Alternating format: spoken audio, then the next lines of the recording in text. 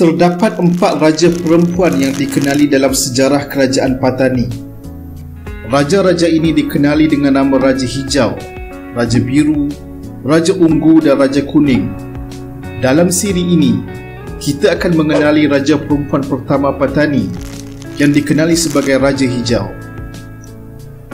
Raja Hijau merupakan Raja Patani yang keenam dalam senarai sembilan orang raja berketurunan Raja Sriwangsa yang memerintah Patani dari pertengahan abad ke-15 sehingga tahun 1688. Raja Hijau memerintah Patani dari tahun 1584 sehingga 1616. Baginda merupakan puteri sulung Sultan Mansur Shah iaitu Sultan yang memerintah Patani dari tahun 1564 sehingga 1572. Baginda ditabalkan ketika berusia 31 tahun setelah kemangkatan adindanya Sultan Bahadur Shah yang memerintah Patani dari tahun 1573 sehingga 1584.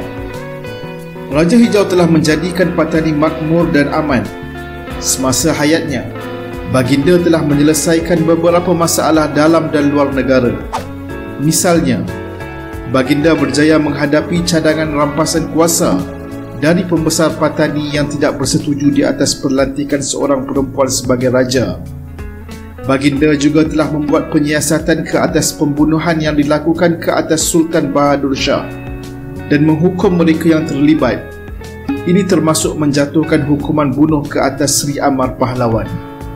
Pada tahun 1600, Raja Hijau telah melantik seorang pengembara Inggeris yang bernama John Smith sebagai penasihat kerajaan. Pada tahun 1603, Raja Hijau telah berjaya mempertahankan Patani dari serangan Siam di bawah pemerintahan Pra Neruswan. Baginda juga telah melegakan konflik politik di antara Patani dan Johor serta Pahang. Dalam meningkatkan ekonomi Patani, Raja Hijau telah menghantar rombongan ke Jepun pada tahun 1599 bagi menjalin persahabatan dengan Maharaja Shogun Tokugawa Ieyasu. Usaha ini berjaya meningkatkan ekonomi Patani. Pada tahun 1601, rombongan dari Belanda yang diketuai Jacob van Neck telah menghantar sepucuk surat persahabatan dari putra Maurice kepada Raja Hijau.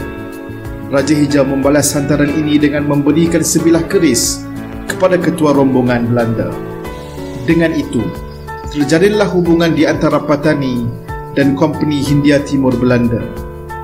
Ketibaan kapal Globe kepunyaan syarikat Hindia Timur Inggeris pada tahun 1612 memulakan hubungan di antara Patani dan British. Menurut Peter Flores, rombongan tersebut membawa sepucuk surat dan hadiah dari King James yang pertama kepada Raja Hijau. Raja Hijau juga membenarkan pedagang British berniaga dengan bebas di Patani. Patani merupakan salah satu kawasan perdagangan Kompeni India Timur Inggeris di rantau ini. Selain itu, Raja Hijau juga menyumbang dalam kebudayaan Melayu dengan memperkenalkan Mak Yong yang pelakonnya terdiri dari bangsawan istana. Mak Yong dipersembahkan di Majlis Kebesaran Negara dan sebagai persembahan majlis sambutan pembesar asing.